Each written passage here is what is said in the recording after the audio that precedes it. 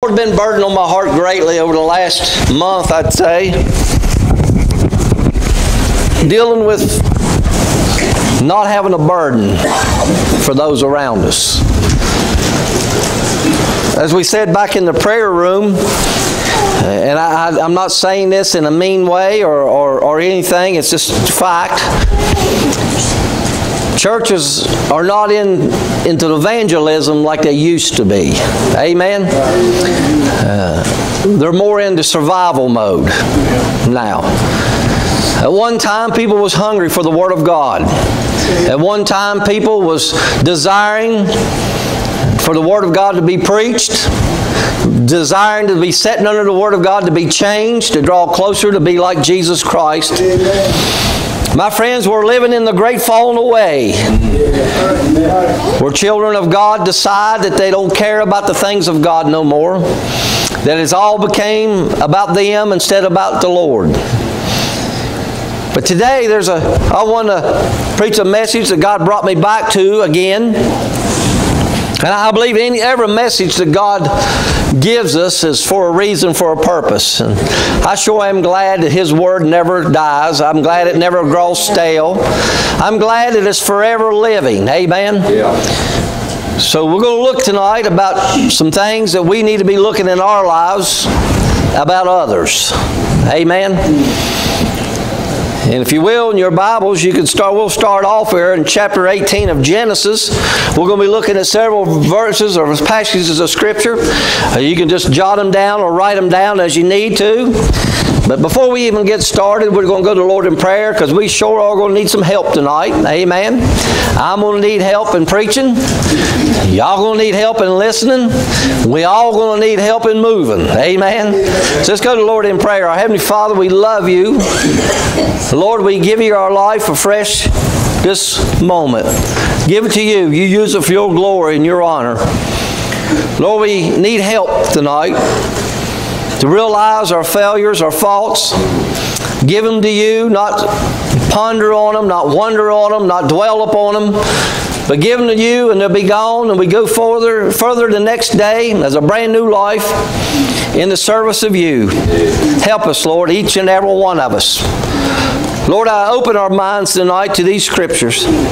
Not only open our minds, but give us the power, the strength to put ourselves aside just for a, a short time, because I believe that's all we got left here on this earth, and focus upon the work that you left us here to do.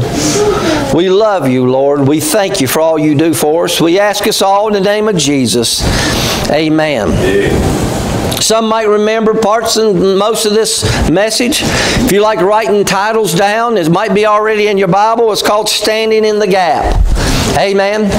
And what we need is good people, good children of God, committed to God and loves the God to start standing in the gap for those who are unable to stand for themselves. Amen. I believe beyond a shadow of doubt as a saint of God grows old and, and I believe uh, as their bodies start breaking down and through the prayer life of through their whole life as they prayed and prayed and prayed and the body start breaking down or something happens to the mind and it breaks down and we're unable to pray. I believe there's an intercessory prayer going in before God's behalf, and our prayers going before God every single day. I believe our prayers never stop. I never, they never falter. They never fail. Uh, they're still going before God. If even if our minds break apart and we can't even, we don't even know who we are at this time. Uh, and I've seen people's minds melt down to nothing. I've seen strokes. I've seen sickness. Uh, I've seen things happen to people uh, where their minds just completely melt away. Uh, they don't know who they are are. Uh, they don't know who you are. Uh, they don't know who Jesus is now. Uh, but my friends, the prayers that they cried out when they was on this earth is still going before an almighty God. That's how important it is, my friend, for us to grab a hold of a good prayer life, maintain a good prayer life, never give it to the world, never let Satan rob us of it, but continue in faithful prayer uh, uh, unto the Lord for the lost souls, uh, those who are sick and afflicted, those who are went astray into the world, world. Uh, my friend, we don't give them over to the devil. We need to give them over to the Lord Jesus Christ. I can't change nobody. You can't change nobody. But I know the change maker. Amen. His name is the Lord Jesus Christ. And my Bible says I can come boldly into the presence of Almighty God with my prayers. Buddy, I need, we need to get busy uh, interceding for those who can't pray for themselves. Uh, we're going to look at some folks here tonight uh, in this precious, uh, beautiful book, uh, the Word of God tonight, of some people who stood in the gap, who interceded for some people who was unable to intercede for themselves. And we see where God honored their prayer. I see where God honored their request and answered their prayer. First one we're going to look at here tonight is in the book of uh, Genesis, chapter 18. Uh, and we know uh, exactly what's going on right here. We know uh, what happened right here, and I'll just give you a little background about this. Uh, you know a man named Abraham. Everybody's heard about Abraham. You can shout amen or shake your head or smile uh, in church, amen. It's legal, amen. Uh, we all heard about a man named Abraham. God said, You're going to be the father of many nations, Abraham. Uh, he, he's a man that stepped out on faith. The father of faith is what the Word of God calls him. A man named Abraham left his family, left all he knew behind, and walked out into a country where he didn't know where he was going. He's just going to be led of God. His old buddy nephew Lot come along with him. You know the story. God blessed him, did he not? Because of Abraham's faithfulness to God, because of Abraham's devotion to God, because his dedication to God, God blessed Abraham. And God's blessing Abraham overflowed into Lot. Amen. Ain't you glad when you can hold on to somebody that God's a blessing and you get the showers of blessing when it's falling down on them too? Amen. You get somebody in the church that God's just pouring the blessings out. I like getting up next to them because I get some blessing too. Amen. Uh, you just see them smiling with the blessings of God all over them. Abraham was getting blessed. Uh, boy, what a time he was having. Uh, everything he had was prospering. His crops, his animals, his family was, uh, uh, you know, everything around him was just doing so good. His wife was still barren, though. But God's going to take care of that later on. And we see where Lot's being blessed, just being with Abraham.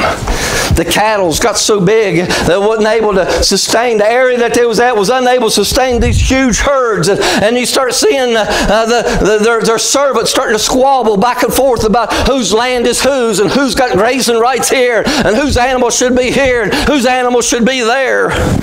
Abraham being a man of God should be a good lesson for each and every one of us here. Amen. Yeah. Abraham's a father of the nation. Amen. Abraham's the one being blessed. Amen. Abraham's the one that God sent out, not Lot. But Abraham, seeing this conflict between one another, knew that it was going to bring problems between him and his nephew Lot.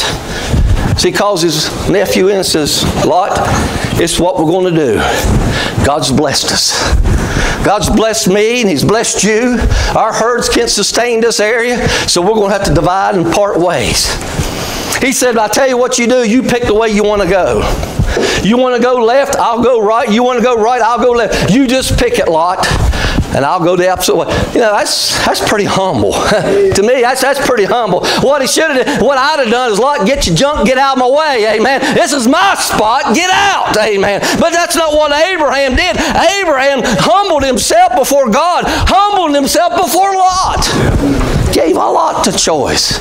We know what Lot's decision was. He had his eyes fixed on the well-watered plains of Jordan, thinking about how much money he can make, how the good schools that his children could go to, the fine shops that his wife could shop in down there, how they can prosper as a family. Down. All these things are not bad things, don't get me wrong. But if it ain't where God wants you to be, you don't need to be there. Amen. Yeah. That might be a good thing for those looking at jobs too. Amen. Amen. You don't take a job going to take you away from God. Never. God never give you a job like that. That's another preaching message. We won't get on that. So we know that he divided there, and Abraham went this way. Lot went down to Sodom and Gomorrah. We know the story that Lot took his family into that cesspool of sin down there and corrupted himself. Amen. The Bible said corrupted himself. God wasn't pleased with this. So God's going to go down there and He's going to destroy the people in Sodom and Gomorrah. So, Abraham being the father of the nation, God just ain't going to whoosh right in and destroy this city without letting Lot know what's going on. So he goes by Lot, and this is the, the words that was being said. I, I'm going to get up here to where we're going to be here, but he's saying to Abraham right here, he says, he said, the Lord said, because of the cry of Sodom and Gomorrah, this is verse 20, is great. And because their sin is very grievous. Now, a sin that is grievous is bad. But God called it out as a very grievous sin, and I'm going to destroy this whole city. Not only the city of Sodom, but the other city of Gomorrah and all the cities around that this sin's attached to. I'm going to destroy it. Abraham gets to thinking, now wait a minute, wait a minute. My nephew Lot and his family is down in this cesspool of sin that God's going to destroy. You know, right now would have been the perfect time for us to show our true colors. He, he probably could have said, Well, that'll learn him. Amen. He made his bed, let him lie in it. Amen. How many of you ever heard that saying before? Maybe you even use it yourself. hey, they made their bed, let them lie in it. Uh, or that'll learn. That's my saying anymore. Uh, if you've been around me very much, uh, that'll learn you. You know, don't play with that saw. You cut your fingers off. Whoop That'll learn you. Don't play with the saw no more. Don't stick your fork in the light socket, bam, across the room. That'll learn you. Amen. That's my saying now. That'll learn you. Abraham right there could have said, That'll learn him. But you know what he did? Again, Abraham humbles himself down before God, humbles himself down below Lot. And he starts interceding for Lot. Lot is in the land of a place of grievous sin. Lot is not concerned about his family. His spiritual condition. Worldly positions, he's worried about it. Spiritual condition, ain't too worried about it. So somebody has got to intercede for Lot in his family. Abraham took it upon himself to intercede for him. You can see this intercession right here. Eh, God done told him, I'm going to uh, I'm to go down to uh, Sodom and Gomorrah because their sin is very grievous. Verse 23 of chapter 18. And Abraham drew near and said, Wilt thou also destroy the righteous with the wicked? Peradventure that there be 50 righteous within that city. Wilt thou also destroy, destroy and not spare the place for 50 righteous that are therein? That be far from thee to do after this manner, to slay the righteous with the wicked, and that the righteous should be as the wicked. That be far from thee. Shalt not the judge of all the earth do right? He's interceding. Lord, 50 people down in that city down there that are saved, that believe in you, love you, trust you, serve you. Would you not spare that city? God gives his answer right here. And the Lord said, hmm. No, the Lord didn't say that, but I kind of added that in there. I thought it kind of sounded good, didn't you? if I find in Sodom 50 righteous within the city, then I will spare all the place for their sakes. Man, that's a big deal. Amen. Abraham gets to thinking, man, God said this city was not just full of sin, but it's grievous sin. Mm, Lord, Abraham answered said, Behold now, I've taken upon me to speak unto the Lord, which I am but dust and ashes. Peradventure there shall be like five of the fifty righteous, without also uh, would destroy the city for the lack of five? He said, If thou find there 40 and 5, I will not destroy it. Man, that's a pretty good deal. Amen. But then Abraham gets to thinking again. Wait a minute, it's not only sin covered that whole city, it's grievous sin. But not only is it grievous sin, the Lord said it was very grievous sin. Maybe I better go back to the Lord again. Maybe I need to intercede a little bit further. I'm not going to be satisfied with 50. I'm not going to be satisfied for 45. And he said to him, Oh, let the Lord not be angry. Verse 30.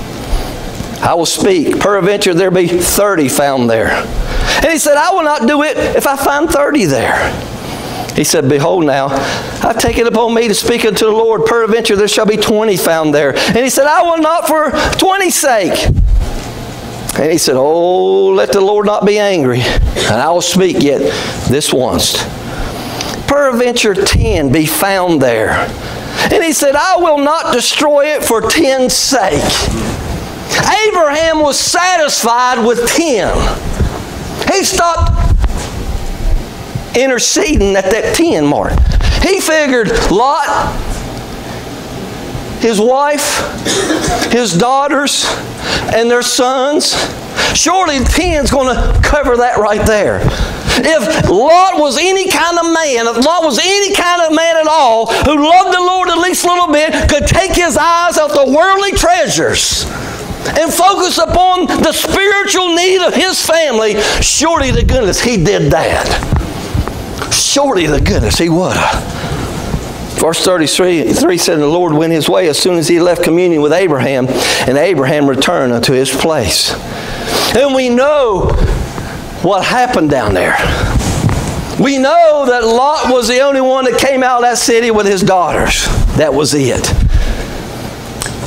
I believe it pleased God when he looked down out of the portals of heaven and seen a man of the father of the nations humble himself down before God and started interceding for Lot who was unable and would not intercede for himself. Maybe Lot knew where he was wrong. The Bible says that his heart grieved daily. Amen. Lot knew that he was in a cesspool of sin. But the money he was making was too much more, was greater than on his flesh than what he could handle in the spirit. Boy, that's a message in itself. Because I see today's people letting the treasures of the world override what the spiritual need is inside, and their families suffering, their children suffering, their grandchildren suffering because of our need of the flesh is too great. You know why? We're fighting that battle in the flesh instead of in the spirit. I believe it pleased God.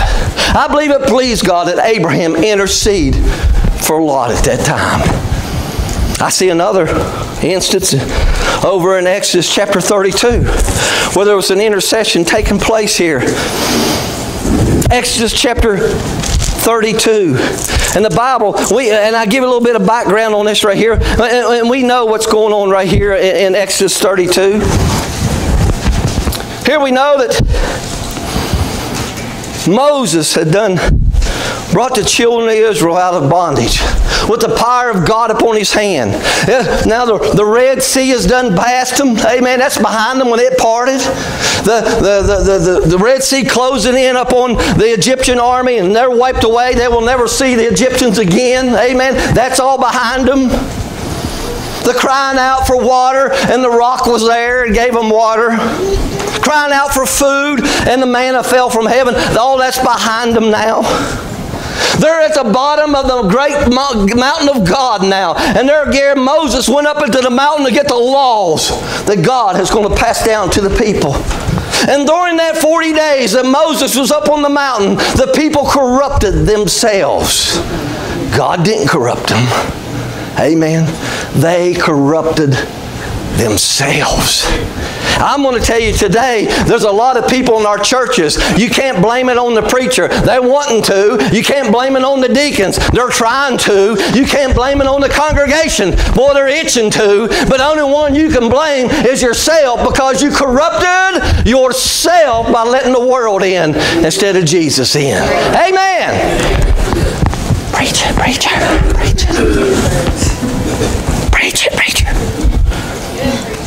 And we know what's going on here. As Moses is up on the mountain, and God tells Moses, He said, Get yourself down. Let's get back here to the scriptures that we need to. Here is a discussion between Moses and the Lord. In chapter 32 and verse 9, and the Lord spake unto Moses, I have seen these people, and behold, it is a stiff neck people. Now, therefore, let me alone, that my wrath may wax hot against them, that I may consume them, and I will make thee a great nation. Boy, right here would have been a great time. Can I say this? For old Moses to say, Yep, You're right. These bunch of heathens, I've done drugged through the wilderness. All they did was whine and complain, whine and complain. They tried to kill me. They was going to stone me. Hey, they just whine and complain. Nothing couldn't satisfy these people. You're right, God. Kill them all. They ain't worth saving. Moses didn't do that been a good opportunity for Moses to go into the flesh mode, amen. Eh, and I'm just going to be honest about it. What would you have done if you was in Moses' shoes? Would you say, yeah, Lord, kill him? Bunch of no good stuff. The Lord done said they was stiff-necked. you ever get a stiff neck in the morning? Anybody get a stiff neck? Man, I tell you, you can't turn your head at all. Eh? And then he's saying their neck is stiff toward the world and toward the worldly and ungodly things, toward the idols, toward idol worship, and they're not going to turn their head. Let me wax. I'm just going to let my wrath wax hot against them, and I will literally wipe them off the face of the earth. And I'll make, and he points his finger, that old Holy Ghost finger at Moses, and I'll make you a great nation. Boy, that had been a good time for Moses to kick in the old flesh. What did Moses do in verse 11? The Bible says, And Moses besought the Lord his God and said, Why doth thy wrath wax hot against thy people? When thou hast brought them forth out of the land of Egypt with a great power and with a mighty hand. Wherefore should the Egyptians speak? And say, For mischief did he bring him out and slay him in the mountains, and consume him from the face of the earth. Turn from thy fierce wrath and repeat of this evil against thy people. Hmm. Of course, Moses ain't no different to me and you we get in trouble, we get, get serious about our prayer life, and we'll start quoting scripture back to God like he don't know what the Bible says. Amen? We'll, we'll get so sick and we'll get to hurt and our heart will be ripped plumb out of our body and, and we'll use scriptures like, Lord, you know you said you won't put more on me than I can bear. Huh? How many has ever did that? Quoting scriptures back to God like he don't know what the Bible says when he is the Word of God. Abraham was no different. Abraham said, Remember Abraham, Isaac, and Israel, thy servants, to whom thou swearest by thy own self, and said to them, I will multiply your seed as the stars heaven, and all this land I have spoken I will give thee unto your seed, and they shall be inherit it forever. Verse 14 is pretty important right here. And the Lord repented of the evil which he thought to do unto his people. Man, that's powerful. Amen. I believe it pleased God that Moses humbled himself down and stood between the children of Israel and God. Moses stepped in between them. It says, You can't hurt them. You can't destroy them. I'm in the way here, Moses. Lord, I'm Moses, the one that you love, amen. I'm the one. And you, you what's the Egyptians going to say that you just brought them out? Did all those miracles down there in the land of Egypt, parted the Red Sea? Did all those magnificent wonders that you did just to bring them out here and kill them and consume them? No, Lord, you're too big of a God to do that. You're too big of a God. You know what it is? God knew He wasn't going to do that. Why did He put this opportunity before Moses' face? Why? To give Moses an opportunity to intercede for God's people. Amen. Moses showed his love for the children of Israel. Did he not? Yeah. Moses showed his concern for the children of Israel. Did he not? We're going somewhere here in a minute, folks. But that's not what just what all Moses did right there. Do you understand? Moses not only stood in the gap, but we're going to read some scriptures right here where Moses went all the way. He went to extremes about standing in the gap. So we'll do these little prayers for the lost. Lord, save these people. Save my brother, save my mother, save my sister, save, save this. And it's just like a nonchalant, easy come, easy go prayer. If you answer, that's fine. If you don't answer, that's fine. I'm going to please my conscience and I'm going to pray. I'm going to do my thing and I'm just going to pray. No matter, you know, if it answers or not, I don't really care. I'm just doing what's going to be good for me. Does this kind of sound about like a lot of our prayers that we do? Amen, preacher. Amen, preacher. Just being honest. You be honest with God. I know what them prayers are like because I pray a lot of them. Moses stood in the gap with extremes. Exodus 32, verse 30. What happens here? Now it came to pass on morrow, on the morrow. Moses said unto the people, You have sinned a great sin. And now I will go up to the Lord, and peradventure I shall make an atonement for your sin. You know, when you make an atonement for something, can, can I say this? Jesus made an atonement for us. Yeah. Amen? That means Jesus gave everything He had to keep us out of hell. Amen? Atonement. Moses is using the exact same word that Jesus used in our behalf. Moses is taking this to another level now. Sissy praying is out the door. Amen. Uh, just, just going through the request, uh, just going through the motions that make me feel good about it is gone now. Moses is talking atonement now. Amen. He says, verse 31, and Moses returned unto the Lord and said, Oh, these people have sinned a great sin and have made them gods of gold. Yet now, if thou wilt, forgive their sin. And if not, blot me, I pray thee, out of thy book which is written. Now, do you understand what he's saying? Lord, take me out of the book. Take me out of the book that is written. Uh, if you won't forgive these sins, I'm just going to go ahead and make an atonement for them. I'll, I'll, sta- I'll stand right here for them. You kill me, Lord. Send me to hell instead of killing these people.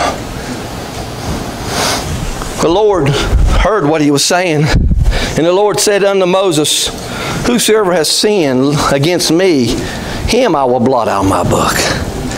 Therefore, now go and lead the people into the place which I have spoken to thee. Behold, my angels will go before thee. Nevertheless, in the day when I visit, I will visit upon the sin, their sin upon them. And the Lord plagued the people because they had made a calf which Aaron had made. You know what we need to do, my friend? We need to take serious about interceding for those who are dying and going to hell around us. Amen? Yeah. Now we know we got all kinds of sick around us. All kinds of people who are, are deathly sick, but if they're saved, hallelujah. If the Lord takes them, our hearts is going to break, but hell, heaven's going to be full with their presence. I think we need to intercede, first of all, number one, for those who are dying and going to hell. We need to realize what their end is. We need to understand there's no second chances, there's no tomorrow. We need to intercede for them now. And if God was pleased with Abraham for humbling himself and interceding for the people, if God was pleased with Moses for interceding for the people, and he blessed him and he, and he did what he said he was going to do, don't you think God will bless us and be pleased with us? If we would humble ourselves down the same way and intercede for those who are unable to intercede for themselves. Moses standing there before God. And at the time Moses is standing before God, the cry was coming out of the camp. Remember, Moses come down out of the mountain with the tablets. He met Joshua coming down the mountain and had the Word of God in his very hands. And you can hear the cries from out of the camp down there. And Joshua says, It sounds like the cry of war. Moses said, Nope. It sounds like the cries of those who corrupted themselves. And that's when Moses got all red faced. You remember? Threw the tablets down and broke them. Amen. And wasn't short time after that, he begged God to let him see his glory. Amen. Boy, I'm telling you, Moses needed to pick me up then. Let me tell you about somebody else that stood in the gap for extremes, with extremes. Let me read this verse of Scripture to you. For God so loved the world that he gave his only begotten Son, that whosoever believes in him should not perish but have everlasting life. That's pretty extreme. Amen. He stood in the gap for a whole people in the world who was unable to stand for themselves. Amen. You know what happened? Just as as as Abraham stood in between God and Lot and says, "Wait a minute." Just the same way as Moses stood in between God and the children of Israel and said, Wait a minute. Jesus Christ stood in between God and me and said, Wait a minute. Yeah. I hear what you're saying, for the wages of sin is death. But I come to give him life. Amen. It's going to be through my blood, it's going to be through my, my atonement that I'm going to make for him. Right. That's standing in the gap with extreme, don't you think? How many times have I gave my testimony about my mom and dad? I gave it not long ago, and I'm not going to go through the whole thing. But it got to the point where I was tired of the sissy praying. That's what I call it, sissy praying. It's prayer with no meaning. Sissy praying is when you pray and it don't cost you nothing. Amen? It ain't going to cost you no time. It ain't going to cost you no money. It ain't going to cost you nothing. And we'll do that kind of sissy praying. But when it gets really involved, when it starts costing your time and maybe your money or your effort, your time, your talent, boy, there's a lot of people start shying away from that type of prayer because then it's going to cost something. When I got out of the sissy prayer mode and started praying to God, take my life from my mom and dad to be saved. I want to be the very thing, the vessel that you're going to use for them to save. If my life is going to end today for them to get saved, Lord, take it. I got serious. How about my mom and dad? You know what? I, I believe it pleased God. I humbled myself down. And I stood in between the judgment of God and my mom and dad. And I said, Hold it. If you're going to get them, you're going to have to go through me to get to them. I'm willing to lay my life down for an atonement for them if they'll get saved for them. You ever prayed a prayer like that? You ever got serious about a prayer life like that? It was going to cost me my life. I meant it with every meaning, my being, my whole soul. I meant that prayer with everything I had in me. And a matter of fact, I knew that was the last day I was going to be on the earth. I knew it. I didn't have enough faith that God could save my mom. I didn't have enough faith that he could save somebody like my dad. My dad never whispered a word about God in his whole life. My mother swore that she was a good person, didn't need God. Like beating my head against that wall since I was saved. Mom, you need to get saved. You need to get saved. You need to get saved. I don't have to. I don't have to. I'm good enough. I'm a good person. God knows me. I'm a good person. You mentioned to my dad, he would just look at you. So I knew that was my last day. But I knew, I knew, I knew beyond a shadow of a doubt. If I'd have dropped dead right then, I'd have been in the presence of Almighty God. And I knew if God was going to take me right then, that I was going to see Him shortly thereafter. Amen. Needless to say, God blessed me and honored my prayer life. And I heard my mom and dad hit the floor in my living room, exact same place that I knelt down. And I heard them say, I believe you died for me. I believe that you rose up from the dead. And my dad's saying this out his own mouth. Lord, I'm a sinner. Save me right now. Sweetest words I ever had heard. They're in heaven waiting on me now. It ain't going to be long, I believe, till we're all gathered around the throne. He's going to see some grandchildren that they ain't got to meet yet. He's going to know exactly who they are. Yeah. Don't even have to introduce them. I ain't going to have to go up there and say, Mama, guess who this is? she's going to grab them and say, That's my little baby. Jesus is still standing in the gap for us today. Did you know that? Amen. He, he didn't see the necessity to just pray one time and not pray no more or, or, or do a job not do it no more. The Bible says right here in 1 John chapter 1. I love these scriptures. And this right here is kind of a cutting line for us who proclaim to be saved. The The Bible says in verse 6 if we say that we have fellowship with Him, the Bible says if you say that you're saved, let me put it that way, and walk in darkness, amen, and walk in dark, walk in sin, we lie and do not know the truth. That means you can go around and boast all day that you're a child of God. Amen. You can say that you're, you're a child of God, but if you're not walking according to God's will and His love and His mercy and grace, you're a liar. As Angie would say from Rhodell, you're a liar. And the truth is not in you. Verse 7 says, But if we walk in the light, as He is in the light, we have fellowship with one another. Amen. Well, that's hard to swallow, ain't it? Bible says that if you're saved, you'll have fellowship with one. Not just the clique, amen. Not just certain ones, amen. With one another, everybody, amen. If you're in Christ, if you're in the light, if you are saved, amen. No circumstances, no situations, no no PS, uh, PS on the end of that. No no God understands on the end of that. You either love everybody or you're lost. Wow. Wow. Fellowship with one another and the blood of Jesus Christ, His Son, cleanses from all sin. If we say we have no sin, uh oh. This a, this a hair lip somebody. We deceive ourselves, the truth is not in us. Bible says, verse 9 if we confess our sins. He is faithful and just to forgive us of our sins and cleanse us from all unrighteousness. Hallelujah. You know what that is? That's still standing in the gap.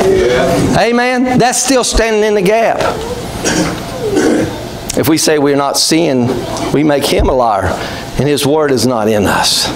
I got to go down to chapter 2, verse 1. It's good too. My little children. Now, who's he talking to here? When God says his children, who's he talking to? Tell me, church. Talking to the church, those who are saved, right? These things I write unto you, that you sin not. If any man sin, we have an advocate with the Father Jesus Christ the righteous. He is a propitiation for our sins, not only our sins only, but the sins of the whole world. So why do we live in sin? Why do we have sin running rapid in our lives and growing daily in our lives? Because we are enjoying it, we like it, and we think we fooled God about it. Amen? Some things we need to stand in the gap for. Got a list here. You ready? Lost in your families. There ain't a person in this building that don't have lost, dying, and going to hell around us. Amen. So, what does that tell me, preacher? That means you need to break away from ourselves, stand in between judgment of God and hell and these people, and say, Hold it, God, let me pray for them. Let me intercede for them right now. I want to go, if, go in, in the presence of Almighty God in their behalf. Lord, just give them more grace and more mercy extended to them long enough for them to get saved. You know, each day we live is the grace of God. Each day we have, each breath we take is the mercy of God. And God could cut the mercy off like that, the grace off just like that. Don't you think we need to intercede for that mercy and grace to be extended? For them to hear the gospel of Jesus Christ? Maybe you might need to be the one to carry that gospel in. I tell you what, something you need to stand in gap for? Look beside of you. Look left, look right. Look behind you, look in front of you. This is what they call the church family.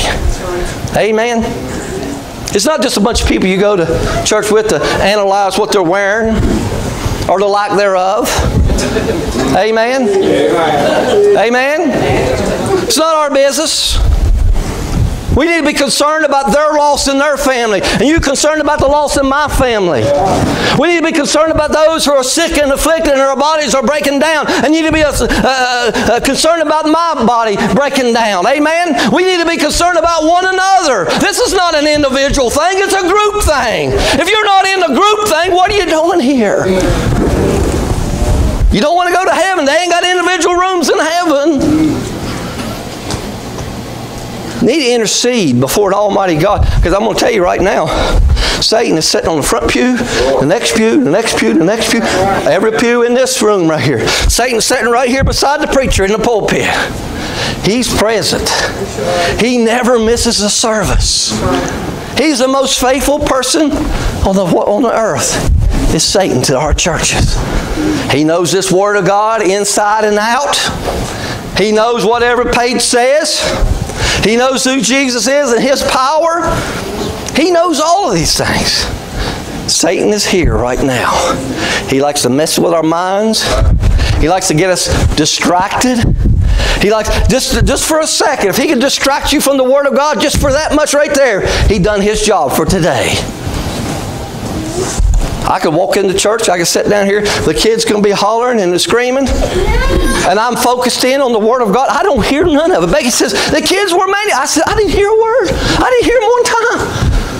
Because I ain't concerned about a baby crying. I'm concerned about the Word of God, and I can lock in and zero in, and I don't hear nothing else.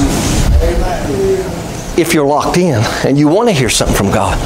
If not, you'll listen to what Satan says look, listen, Start looking at people, noticing what they're doing. Need to intercede for our church. A church that don't pray for one another, it's just a tax exempt social club. Just going to say it. Amen? Boy, I'm telling you, we better be doing some intercession for our country. Amen. Have you ever seen the mess that people's in? Used to think outside the Bible Belt was ungodly. But inside the Bible, there ain't no Bible Belt no more. It's gone. More ungodly things going on around us, and people are living like dogs. Well, I'm going to say this. A dog lives more moral than what most people are living today. They'll jump with this partner and run with this the next night and one over here next night, live with this for a week or two, live with this for a week bouncing children from one place to another. The kids don't know nothing, they're so confused. And I'll say this. When you're bringing a child up with two moms in a home, that's pretty confusing. Two dads in a home, that's pretty confusing. God never ever meant it to be that way. One man, one woman for life. Amen. That's it. That's God's plan. We need to pray for our country. I would be afraid. God gave us a reprieve, is what He did in this last election. I don't care if you like who our president I could care less. But I know who was next in line if this man didn't get it. I know by the stand they take who they was going to put in the Supreme Court judge our churches would be gone right now. And it's just a matter of time when they're going out and they get somebody else in, our churches are gone. It's just coming to the place. And they already come in in Florida. They wanted pastors to turn over their notes to the government. Well, they couldn't read mine in the first place. They can have all they want. But what they was going to do, they was going to see if you preach on this sin or, or this thing or this activity, it's called a hate crime, and you will go to jail. Help the goodness, somebody's going to make bail. Because it's coming a time and place where most of the people in here are not going to come to church if they're going to be harassed by our government. It's getting close. It's getting close. We've lived the easy street for long enough. There's people in foreign countries, third world countries, that they profess to be Christian, they're killed immediately, beheaded. How many of y'all would take a stand? Remember, what was it, Cal- Columbine School, when the guy went in there and asked who was saved, and that little girl raised her hand, he shot her right there on the spot. She didn't deny Christ. She didn't deny Christ. Need to pray, intercede for our country. Uh, let me ask you this. do you even see a need to start interceding for anybody? If not, raise your hand. We need to start interceding for you because you're in pretty bad shape. Amen. This is what the Bible says in Ezekiel chapter 22, verse 30. This is what the Bible says. And I sought for a man among them that should make up the hedge, stand in the gap before me for the land, that I should not destroy it. Sad part of this verse of Scripture says, But I found none. What we need is some good, godly mamas and pawpaws, some goodly moms and dads, some godly teenagers who still love this country, love the God, love the Lord, love their people around them, and start interceding for lost people. I believe beyond a shadow of a doubt when God's people start praying, it moves, turns the hand, moves the hand of God, and we can start seeing things happen. Not necessarily in Mabscott, in Beckley, in Raleigh County, in the state of West Virginia. It can start right here, right now. God's looking for somebody, anybody, who'd be willing to stand in the gap to make up the hedge. That's all He wants. Maybe here tonight. From the back seat to the front seat, don't make no difference. You want to stand in the gap. Right now's the time. Is Bob and them get a song ready, somebody on your heart that you want to intercede. You want to be the great go between. You want to stand in, in the gap between them for them right now. You need to do that.